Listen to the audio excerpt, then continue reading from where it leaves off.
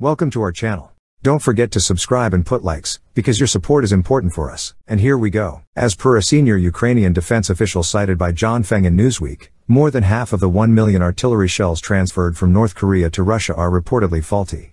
Vadym Skibitsky, the deputy head of Ukraine's main intelligence directorate, GUR, revealed that the Kremlin sought aid from its secretive Asian ally to bolster Russia's limited arms production capabilities, yielding mixed results. Skibitsky's comments, shared with Interfax Ukraine news agency on February 23, indicate, based on available data, Russia has received 1.5 million rounds of ammunition from the DPRK. However, these munitions originate from the 1970s and 1980s. Roughly half of them are non-functional, while the rest require restoration or thorough inspection before deployment. According to Bloomberg, satellite imagery captured between October and December 2023 depicted numerous shipping containers being loaded onto and offloaded from Russian vessels at North Korea's Najin and Russia's Dunay ports, suggesting a continuous exchange of military supplies between the two nations. This collaboration purportedly empowers Moscow to sustain pressure on Ukraine amidst the ongoing conflict, with Western nations accusing North Korea of aiding Russia's military endeavors. In October, the United States, South Korea, and Japan jointly confirmed North Korea's provision of arms and military equipment to Russia for use against Ukraine. In retaliation, Pyongyang sought military support from Moscow, a claim denied by both Russia and North Korea.